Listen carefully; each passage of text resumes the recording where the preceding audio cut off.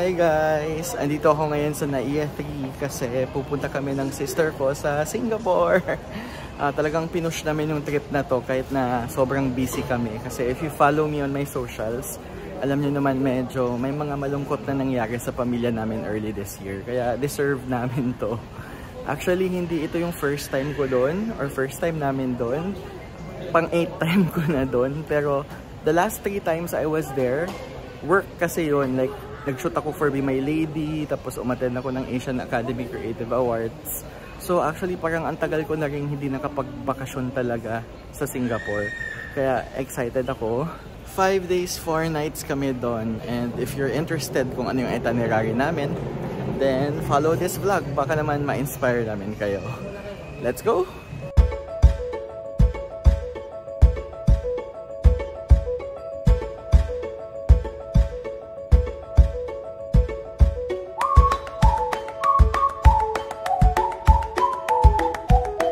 Hi guys! So we're already here in Changi Airport in Singapore.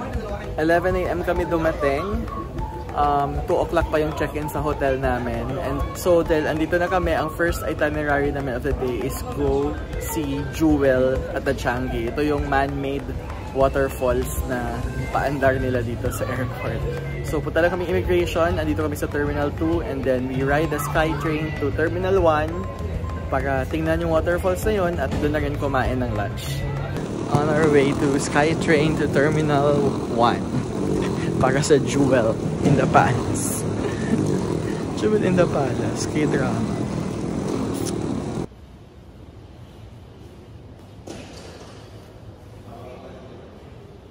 Hi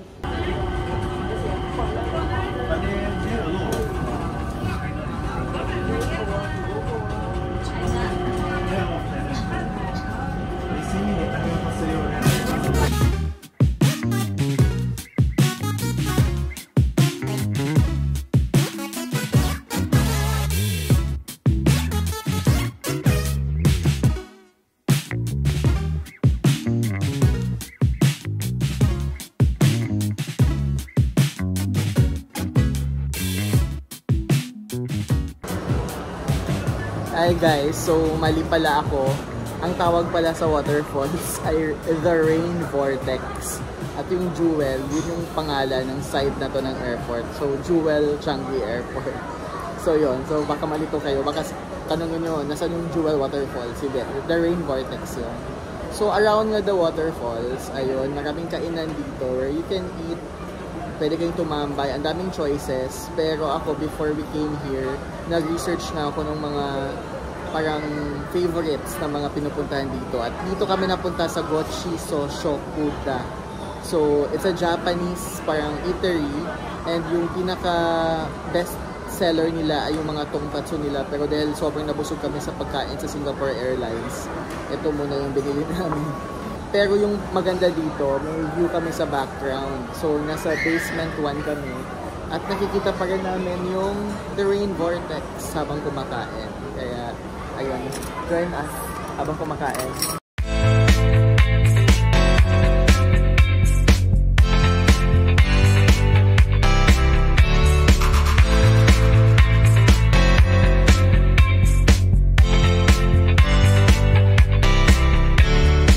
So medyo napasaya yung kain naman kanina sa Jewel Changi. Pero right now, we're on our way to our hotel.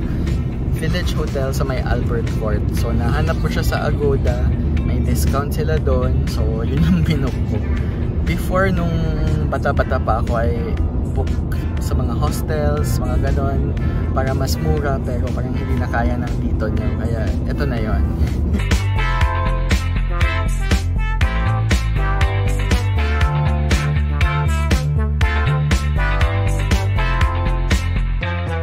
Hi guys! So, nakapag-check-in na kami sa Village Hotel sa Albert Court. Um, okay siya na hotel. Ayan, may two single beds kami ng kapatid ko. And um, maganda yung architecture niya. Para siyang lumang architecture. Tapos nire-purpose para maging hotel. So, yun. Wala masabi. Gusto ba ng tour? so, eto. Eto ngayon ang kanilang banyo. So, may bathtub. Okay naman. Ayan. Ayan. Ko sanay. ano ba to?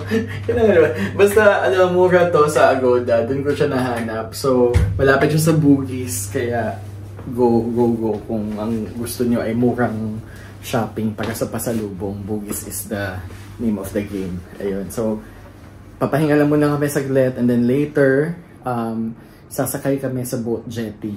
Kasi yun yung next itinerary namin. Doon sa Clarkie.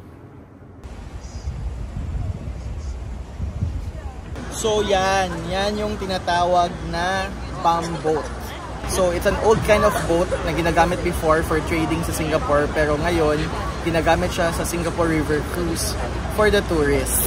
So yung buong Clarke Quay, i-cruise niyan at pakikita natin yung Marina Bay Sands, yung uh, Merlion Park and other historic and beautiful architecture of Singapore. Bakit ko alam to?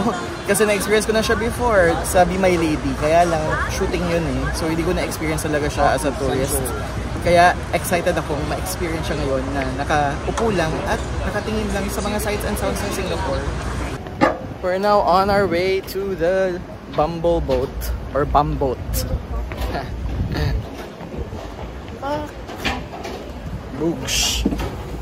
Doon kami sa likod kasi yung iba ayaw mainitan pero kami as a cam whore syempre maganda dito. Para kita lahat ng view oh. Oh oh. Books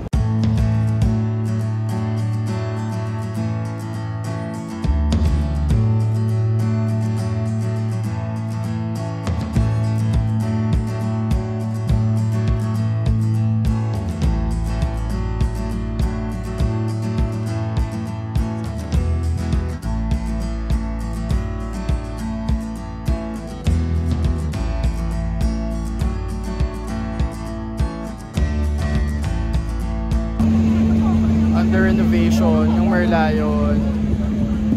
Wale renovation.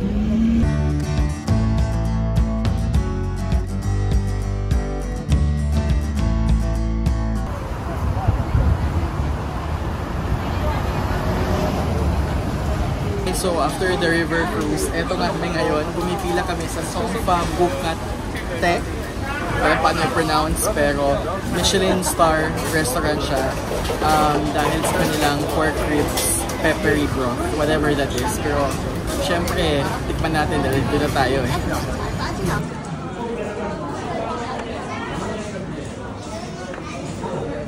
Kakaiba yung lasa niya. Medyo peppery na may soy sauce. I think yung sabaw yung pinaka ano talaga niya, unique quality nitong broth na ito. Ngayon lang ako nakatikim ng gantong klaseng sabaw.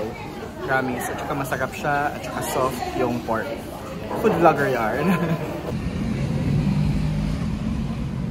so, after our early dinner, yes, it's already 6.30pm here, pero ang taas pa rin ng araw. Heto kami ngayon, naglalakad lang sa may river walk papuntang Merlion Park. So, uh, medyo 800 meters siya na lakad.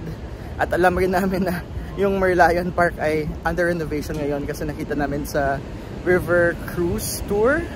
Kaya lang pupunta pa rin kami ngayon kasi ang dami namin nakain. Kaya kailangan namin mag-exercise ng konti. But at the same time ang maganda dito ang ganda ng mga views habang naglalakad kami papunta doon. Ay there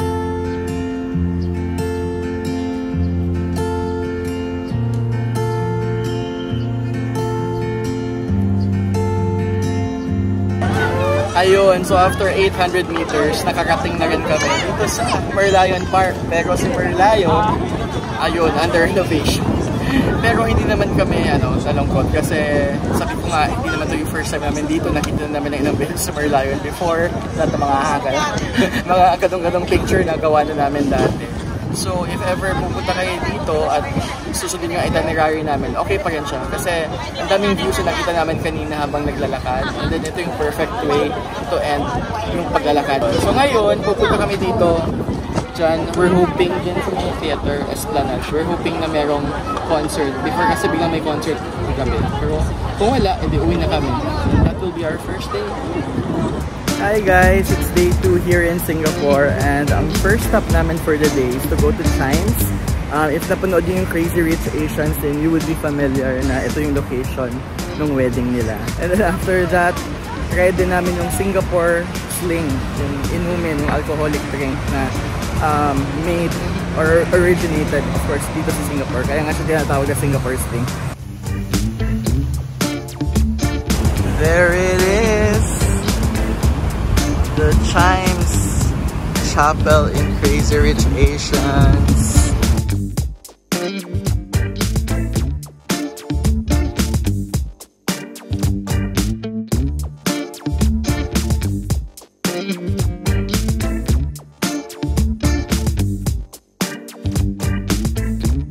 Course, sarado yung church pala. So hanggang labas na yung picture-picture. But there are surrounding like food areas here. So try muna namin i-explore siya and see if pwedeng dito rin kami kumain ng lunch. Ayun, so masyado pala kaming excited at masyadong napaaga sa mga food establishments sa Chimes. Mga 12 dun pa sila magbubukas. Pero buti na lang, sa katabi ng Chimes may mall, Raffles City at may food court doon. At andito kami ngayon, dito na muna kami kakain ng lunch. Hindi ko ma-pronounce kung ano yung pinili naming food pero mura lang siya. Para siyang turo-turo. Parang two vegetables, one rice. Parang one meat, two vegetables, ganun. Ganun lang yung choices and then turo-turo mo lang kung ano yung gusto mong kainin. Kaya ito, ito yung lunch namin ngayon. Sabayan niyo ba kami? so ito, kakain lang kami and then after that, Singapore sling.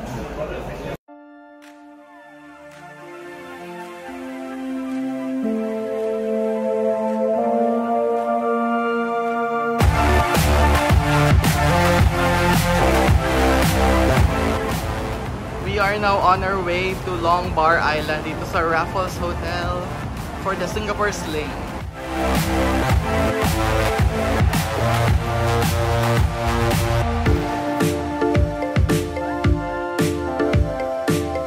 Ayan, finally, andito na yung iconic Singapore Sling.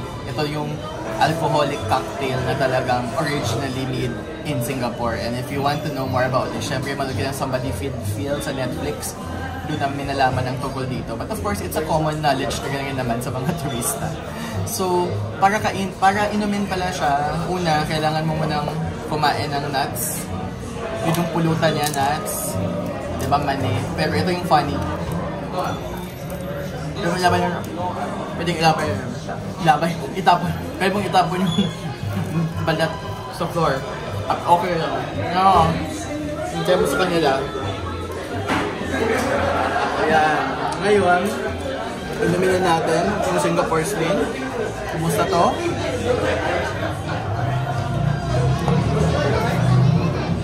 Okay siya. Hmm. Kakaiba siyang cocktail. Yan lang.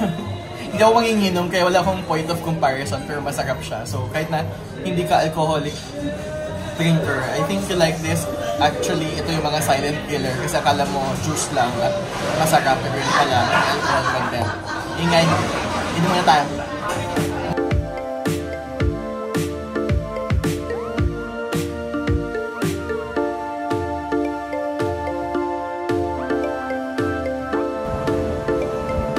So we are now on our way to the Art and Science Museum or Art Science Museum for the Digital Light exhibit.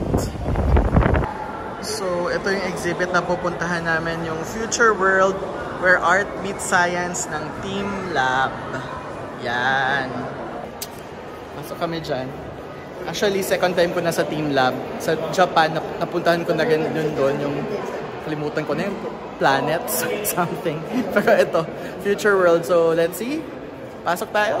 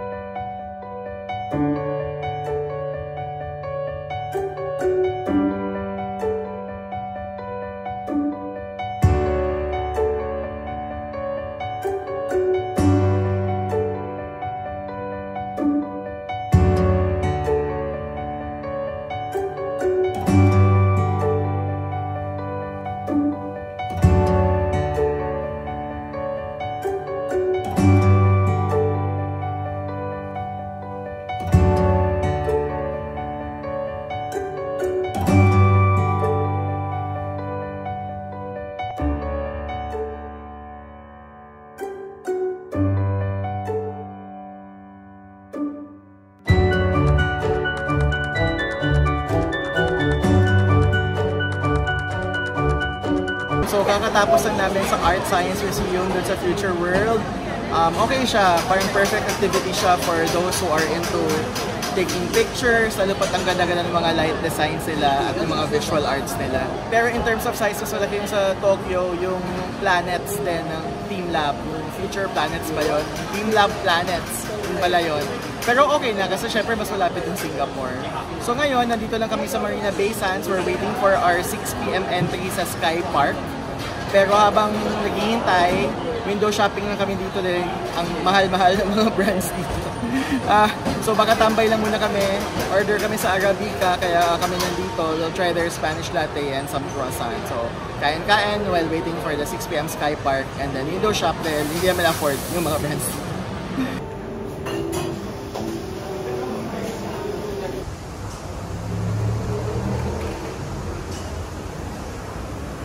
andito na kami sa entrance ng Sky Park Observation Deck. So, aakyat kami sa pinakatuktok ng Marina Bay Sands for a bird's eye view of Singapore. Actually, medyo mahal siya. May murang way para makita pa rin, makapunta pa rin sa tuktok. Siyempre ay may isang bar and restaurant kasi doon. Pwede kayong uminom ng drinks and then sumilip. Eh, bird's eye view na kayo. Yun yung ginawa namin last time. Kaya lang syempre medyo limited yung space para mag-view. At syempre kailangan nyo rin mag-order ng drinks. Kaya ito na, I mean para ma-experience lang for the first time itong Sky Park, yung legit talaga na way para makita yung bird's eye view. Kaya bumili kami ng ticket dito sa Sky Park Observation Deck. So, we're just waiting sa time na allotted sa amin. We bought the tickets online. Sold out na pala ngayon. Good thing we bought it online. And then, later, uh, akit kami sa taas. At andito na kami sa Sky Park. Daming tao. Pero sobra. Ang ganda ng view guys. Buong Singapore talagang nakikita mo. So, tara. There Singapore Flyer. Sumakay kami dyan 10 years ago. Ayoko nang ulit eh. Although hindi siya lang nakatama. Ayun. Tapos, ano ba meron dito? Ayun, yung Merlanco. Punta tayo doon para sa Gardens by the Bay. Ayun, Gardens by the Bay. Siyempre kaya maghihintay kami ng sunset. Tingnan namin kung mas maganda ang view mamaya. Pero kung mapapagod na kami, punta na kami sa next location.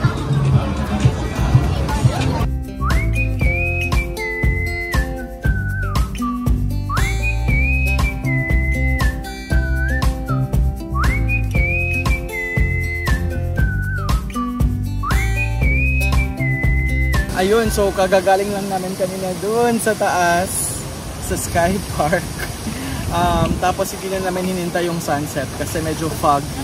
Natakpan na ng clouds yung sun.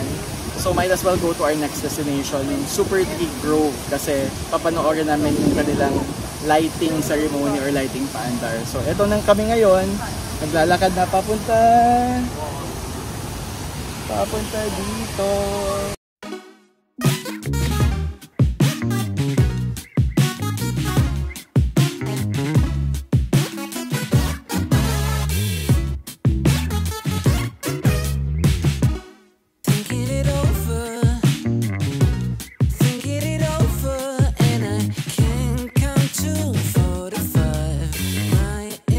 Habang hinihintay namin yung Garden Rhapsody sa Super Tree Grove, yung Garden Rhapsody yung tinatawag nila sa kanilang lighting display. Kumain muna kami dito sa Jurassic Nest Food Hall na malapit lang din sa Super Tree Grove. Para siyang food court at tapos ang daming pagkain na nandito pero ang pinakamaganda ah, may mga iba sa kanila mga Michelin Star awardees like itong Bismillah Biryani parang Michelin Star awardee siya pati yung Hawker Chan na nasa Pilipinas din Michelin Star awardee rin siya so ang daming masasarap na pagkain dito sa Singapore guys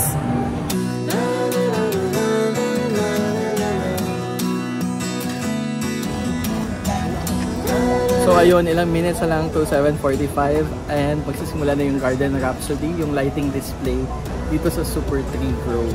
So ayun, excited na kami at i-video ko siya para sa inyo.